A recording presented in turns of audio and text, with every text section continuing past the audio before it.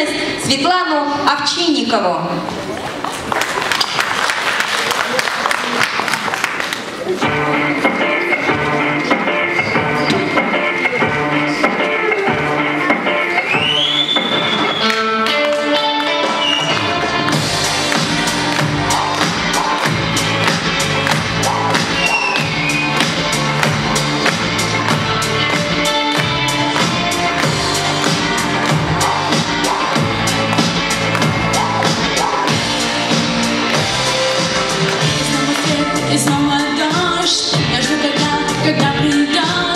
Беснятся мне твои шаги Когда же ты к